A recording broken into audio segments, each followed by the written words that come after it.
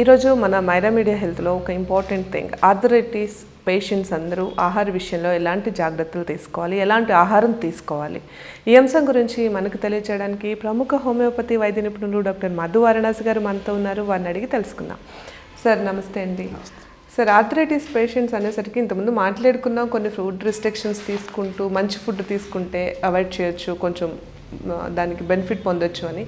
పర్టికులర్గా ఎలాంటి ఆహారం తీసుకోవాలి ఎలాంటి ఆహారం తీసుకోకూడదు అండ్ హోమియోపతిలో కూడా ట్రీట్మెంట్ తీసుకుంటూ ఉంటే ఫుడ్ రిస్ట్రిక్షన్స్ ఉంటాయి అంటారు. మీరేం చెప్తారు? అంటే మీకు ఆర్థరైటిస్ సమస్య అనేది మనకు జనరల్ జనరల్గా వచ్చే సమస్య. చాలామంది పేషెంట్స్ మనం గమనిస్తున్న సమస్య కూడా. కానీ చాలామంది పేషెంట్స్కి ఏంటంటే కీళ్ళ నొప్పులు ఉన్నాయి ఆర్థరైటిస్ ఉన్నప్పుడు ఎలాంటి ఆహారం తీసుకోవాలి ఎలాంటి ఆహారం తీసుకోకూడదు అని కూడా చాలా డౌట్స్ ఉంటాయి మీకు. ఎందుకంటే ఏముంది ఏదైనా తీసుకోవచ్చు అనేది ఒక కాన్సెప్ట్ అయితే ఏది తీసుకోకూడదు అని కూడా తెలియదు మీకు. అంటే మీకు ఇక్కడ ఏంటంటే కొన్ని కొన్ని ఐటమ్స్ మీకు ఆర్థరైటిస్ పేషెంట్స్ తీసుకోకూడదు.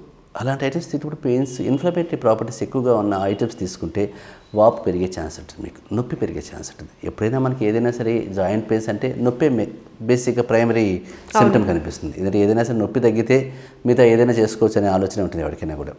నొప్పి లేని జీవితం హ్యాపీగా ఉంటుంది. నొప్పి ఉన్న జీవితం ఇప్పుడు బాధగానే ఉంటుంది కాబట్టి. బట్ ఇక్కడ ఏంటంటే చాలామంది ఏం తీసుకోకూడదు అని అడిగాను వాళ్ళు పేషెంట్స్ చాలామంది ఉన్నారు మీకు. కానీ ఇక్కడ ఏంటంటే మాకు చాలామంది విషయాలు ఏంటంటే హోమియోపతి డాక్టర్ దగ్గరికి వచ్చాం కాబట్టి మేము చాలా తీసుకోకూడదు అనుకునే వస్తారు. కానీ ఇక్కడ ఏంటంటే యూనివర్సల్గా మనం చెప్పాలంటే కామనెస్ట్ కామన్గా చెప్పాలంటే ఆర్థరైటిస్ పేషెంట్స్ ఎప్పుడు కూడా చాలా మటుకు రెడ్ మీట్ మానేయాలి. రెడ్ మీట్ మానేయాల్సి వస్తుంది. ప్రాసెస్డ్ ఫుడ్ కూడా తగ్గించుకోవాలి ప్రాసెస్ చేసిన ఫుడ్ దాంతోపాటు షుగర్ తగ్గించాలి కంపల్సరీ. షుగర్ వాడడం మరి సోడాస్ కానీ షుగర్స్ కానీ కేక్స్ కానీ పేస్ట్రీస్ కానీ ఇవన్నీ తగ్గించుకోవాలి తప్పనిసరిగా. ప్లస్ దీంతో పాటు కూడా కొన్ని కొన్ని ఐటమ్స్ మీకు ఏంటంటే ఇన్ఫ్లమేటరీ ప్రాపర్టీస్ ఏవి ఏవి పెరుగుతున్నాయో అవి కూడా తగ్గించాల్సింది మీకు. కొన్ని కొన్ని ఆయిల్స్ కూడా చూసుకోవాలి మీకు. ఎందుకంటే మీకు కొన్ని ఆయిల్స్ మీకు ఏమవుతాయంటే నొప్పిని పెంచేటివి ఉంటాయి మీకు. ఆలివ్ ఆయిల్ కూడా మీకు ఎక్కువ వాడడం మంచిది కాదు. ఆలివ్ ఆయిల్ మంచిది కాదా? ఒమేగా ఫ్యాటీ యాసిడ్స్ ఉంటాయి కానీ ఎక్సెసివ్ కన్జంప్షన్ పనికిరాదు ఇది కూడా. ఇది ఎవరికి అది కూడా మీకు అది కూడా మీరు చూసుకోవాలి చాలా ఇంపార్టెంట్ థింగ్ సార్ ఇది. అంటే ఆలివ్ ఆయిల్ని ఏదైనా లిమిటేషన్స్లో ఉండాలి. ఏది కూడా మీకు ఎక్కువ తీసుకున్నప్పుడు మీకు ఏమవుతుందంటే దీని ఎఫెక్ట్స్ అన్నిటిపైన బాడీ పైన పడుతుంటుంది మీకు. ఫిష్ ఆయిల్ కూడా మీకు మంచిదే. మంచిదే. మీకు. బట్ ఇక్కడ ఏంటంటే ఇలాంటి ప్రికాషన్స్లో మీకు ఎక్కువగా మనం ఏంటంటే షుగర్ కంటెంట్ ఉండే ఐటమ్స్ పైన ఎక్కువ పెట్టుకోవాలి. ఒకటి ఫ్యాటీ హై ఫ్యాటీ కంటెంట్ ఉండేటివి. చీజ్ తగ్గించుకోవాలి ఎక్కువగా మనం వాడేటివి హై ఫ్యాటీ కంటెంట్ స్వీట్స్ ఒకటి.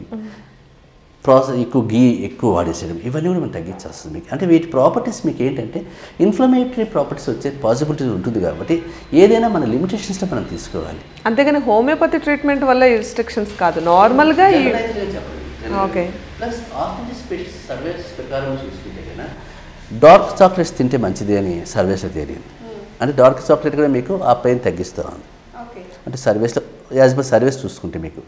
జింజర్ ఒకటి. జింజర్ కూడా యాంటీ ఇన్ఫ్లమేటరీ ప్రాపర్టీస్ ఉంటాయి మీకు. ఓకే. జింజర్ కూడా బాగా తీసుకుంటే ఆ పౌడర్ ఫామ్లో కానీ ఏమైనా తీసుకుంటే నొప్పి తగ్గించే ఛాన్స్ ఉంటుంది పాసిబిలిటీ ఉంటుంది. డ్రై జింజర్ కూడా డ్రై జింజర్ కానీ పౌడర్ ఫామ్లో కానీ తీసుకోవచ్చు మీకు ఏం లేదు. అందువల్ల మీకు బ్రొకోలీ ఒకటి. బ్రొకోలీ ఈ మధ్య మనం తరచుగా వినిపిస్తాం. చాలామంది దానం తింటున్నారు బ్రొకోలీ. బ్రొకోలీ కూడా మీకు ఇన్ఫ్లమేషన్ తగ్గిస్తాయి. అంటే వాపును తగ్గించేస్తాయి మీకు. తర్వాత మీకు దాంతోపాటు టర్మరిక్ ఒకటి. టర్మరిక్ కూడా మీకు చాలా ఇంపార్టెంట్ టర్మరిక్ అంటే మనకు ఐడియా ఉంది కాబట్టి పసుపు. పసుపు ప్రాపర్టీస్ మీకు అందుకే మనకు పసుపు నొప్పికి చాలామంది వాడతారు చూడండి. సో పసుపు కూడా మీకు నొప్పిని తగ్గించే ఛాన్సెస్ ఉంటాయి మీకు. ప్లస్ చాలామంది సర్వీస్ ప్రకారం చూసుకుంటే పసుపు ఈ జింజర్ వాడిన పేషెంట్స్ సర్వేస్ చూసుకుంటే forty two forty five percent పేషెంట్స్కు నొప్పి తగ్గింది. అది తీసుకున్న తర్వాత ఒక అంటే స్టాటిస్టిక్స్ ప్రకారం చూసుకుంటే. తెలుసు సార్ బట్ ఏ రకంగా తీసుకోవాలనేది కూడా ఒక డౌట్ ఉంటుంది. అది కూడా మీరు చెప్పేస్తే. అంటే మీకు జింజర్ అంటే డ్రై ఫామ్లో తీసుకోవచ్చు పౌడర్ ఫామ్లో తీసుకోవచ్చు మామూలు మనం కర్రీ మన కూరలో వేసుకునే డ్రై కూడా తీసేసుకోవచ్చు టర్మరిక్ అంటే జైలికి పసుపు కొంచెం వేసేసుకోవచ్చు. డైరెక్ట్గా కూడా తీసేసుకోవచ్చు మామూలు కొంచెం వాటర్ ఇప్పుడు చాలా మంది పసుపు వాటర్ కలిపి తాగేస్తారు కదా. ఇప్పుడు టర్మరిక్ కంటెంట్ ఉండే క్యాప్సిల్స్ కూడా దొరుకుతున్నాయి మీకు. టక్క మనం మింగడానికి ఇబ్బంది లేకుండా ఆ స్మెల్ తట్టుకోలేం కాబట్టి అవి తీసుకోవచ్చు మీకు. అవి కూడా చూసుకోవాలి కేసులలో. ఇలాంటి ఆహార విషయాలు కొంచెం మార్పులు చేసుకుంటే మీకు ఆలివ్ ఆయిల్ ఒకటి ఫిష్ ఆయిల్ ఒకటి టర్మరిక్ ఒకటి జింజర్ ఒకటి బ్రకోలీ ఒకటి ఎగ్ ఒకటి ఇవన్నీ కూడా మీకు ఒక రకంగా పనిచేస్తాయి. ఏవైనా కొన్ని లిమిటేషన్స్ ఉన్నప్పుడు మీకు ఎక్సెసివ్గా ఏవి కాకుండా తీసుకుంటే కన్నా చాలా మటుకు ఈ పేషెంట్స్లో ఇవి యాంటీ ఇన్ఫ్లమేటరీగా పనిచేస్తాయని మనం వాళ్ళ సర్వేసు పోల్చి చెప్పాయి. చాలామంది చూపించింది కాబట్టి వాళ్ళ ప్రకారం కూడా మనం అది వాడుకోవడం వల్ల నష్టం ఏం లేదు. ఓకే. అంటే ఆలివ్ ఆయిల్ అనేది హెల్త్కి చాలా మంచిదని ఇప్పుడు ఈ మధ్య కాలంలో అన్ని ఆయిల్స్ మానేసి మన కుకింగ్లో కూడా ఆలివ్ ఆయిల్ వాడడం అనేది చాలా ఎక్కువగా జరుగుతుంది. అంటే అది ఎంతవరకు వాడొచ్చు మీరు కన్జంప్షన్ చెప్పి ఏదైనా సరే లిమిటెడ్ ఎక్సెసివ్గా వాడుకోకూడదు మంచిది కాదు మీకు. ఎందుకంటే మీకు ఆలివ్ ఆయిల్ మామూలుగా వాడుకోవచ్చు. అదే పనిగా మనం దాన్ని దానిపైన బేస్ కావాలి అన్ని ఆయిల్స్ మనం ప్లాన్ చేసుకోవాలి. ఇప్పుడు సన్ఫ్లవర్ ఆయిల్ బాగానే ఉంటుంది రైస్ బ్రాన్ ఆయిల్ బాగానే ఉంటుంది. అలా కాం ఆల్టర్నేటివ్ కూడా మనం ఆయిల్స్ చూసుకుంటూ వాడుకుంటే కదా చాలా మటుకు దానికి పాజిటివ్ అంటే చాలామంది పేషెంట్స్ అంటే చెప్పారు కదా ఇంకా ఆలివ్ ఆయిల్ చెప్పారు ఆలివ్ ఆయిలే వాడేస్తాం అనుకోవడం అట్లా వాడకూడదు ఇప్పుడు మీకు. దానికి ఒక లిమిటేషన్స్ ఒక ఒక ఒక సిస్టమేటిక్గా చేంజ్ చేసుకుంటే. కదా తొందరగా దానికి సంబంధించిన ప్రాపర్టీసే కాదు మనకు కూడా రిలీఫ్ వచ్చే ఛాన్స్ ఉంటుంది మీకు ఆర్థరైటిస్ పేషెంట్కి ఇంకా హోమియోపతి విషయానికి వస్తే మీకు హోమియోపతికి వచ్చి రెస్ట్రిక్షన్స్ ఏం పెద్ద పెట్టాల్సిన అవసరం లేదు. ఎవరు జనరల్గా ఇప్పుడు నేను చెప్పిన రెస్ట్రిక్షన్స్ కామన్గా వాడుకోవచ్చు తప్ప హోమియోపతి మందులు వాడుతున్నాం కాబట్టి మేము కాఫీ మానేయాలి టీ మానేయాలి స్వీట్స్ మానేయాలి అనుకోవాల్సిన అవసరం లేదు. ఏదైనా గ్యాప్ కొంచెం గ్యాప్ ఇస్తే సరిపోతుంది. ఎందుకంటే మీకు బేసిక్గా అది జర్మనీ బేస్డ్ మెడిసినే సో ఆ కంట్రీలో వచ్చిన రెస్ట్రిక్షన్స్ మనకు తెలియదు మనకి ఎలా ఉంటాయి. వాళ్ళ వాళ్ళ లైఫ్ స్టైల్ వేరుగా ఉంటుంది. మనకు అది అలవాటు చేసుకున్నాం కాబట్టి హోమియోపతి అనేసరికి అది ఒక అపోహ పెట్టుకున్నారు తప్ప ఆ అపోహ అంతవరకు అది సబబు కాదు పెద్ద అవసరం కూడా లేదు. డాక్టర్ని అప్రోచ్ అయ్యి ఏది మానేయాలి? ఏ డిసీజ్కి ఏది మానేయాలి? కొన్ని ఐటమ్స్ ఉంటాయి. అది అది అది యూనివర్సల్ డైట్ కావచ్చు లేదంటే స్పెసిఫిక్గా ఆ డిసీజ్కి కావచ్చు.